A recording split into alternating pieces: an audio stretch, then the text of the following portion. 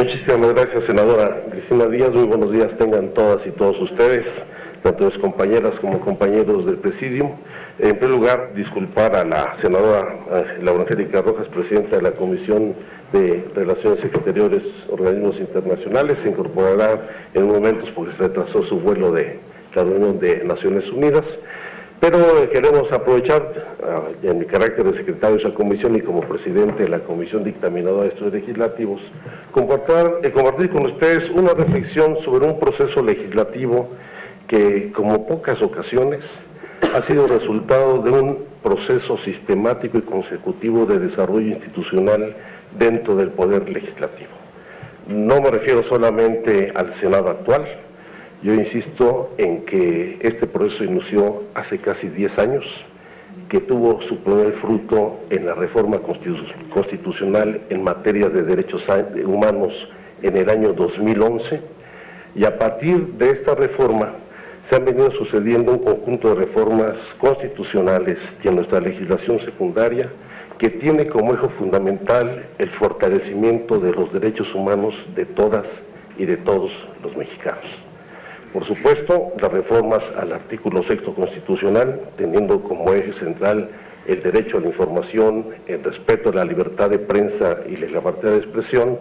pero donde incorporamos en un primer momento el derecho al acceso a la información pública, a la transparencia y a la rendición de cuentas, que hoy nos ha permitido contar con un marco legislativo consensado entre todos los grupos parlamentarios en el Congreso de la Unión, que da lugar no solamente a la existencia de órganos garantes con autonomía constitucional, sino a un marco legislativo general que nos permitirá permitir el acceso de las personas a toda la información que generen los entes públicos, así como todo el manejo de los recursos públicos, ya sean por entes públicos o privados.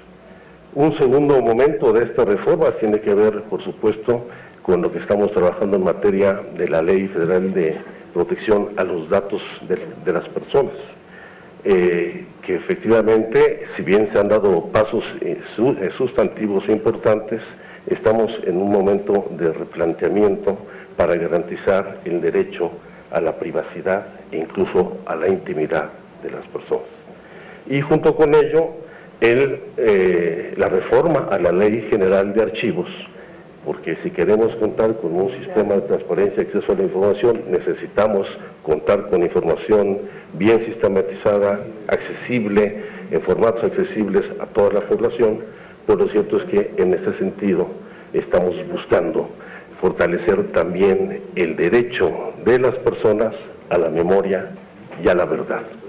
Yo he insistido en que estas reformas en materia de lo que son los derechos humanos de todas las mexicanas y los mexicanos implica una reforma de tercera generación. Y si bien habíamos avanzado de manera significativa en materia política y electoral cuando se permitió el registro a finales de los años 70 de la oposición de izquierda, más adelante cuando se eliminó la participación gubernamental en la organización de los procesos electorales y de forma al Instituto Nacional Electoral. Esta es quizá la reforma en materia este, de derechos más importante que hayamos este, realizado en el país en las últimas décadas. Estamos hablando o sea, del derecho a la información, la libertad de expresión, la libertad de prensa, asociada a la transparencia, el acceso a la información pública, la rendición de cuentas, la protección de los datos personales, el derecho a la privacidad de las, eh, de las personas y por supuesto el derecho a la memoria y la verdad que formarán parte de todo un sistema hoy articulado en el Sistema Nacional de Transparencia y más adelante en el Sistema Nacional de Archivos, que tendrá que ser concurrente con el Sistema Nacional Anticorrupción que busca enfrentar uno de los principales flagelos que dañan nuestra vida institucional.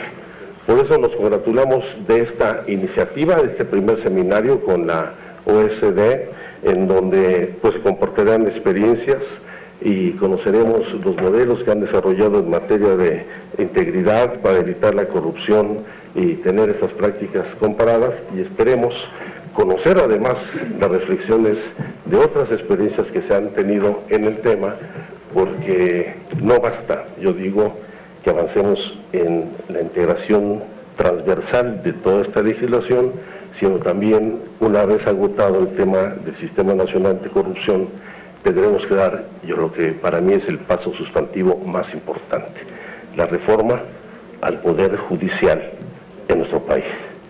Porque a mi juicio, si bien la corrupción es uno de los problemas más lacerantes que enfrenta el país, lo es más la impunidad.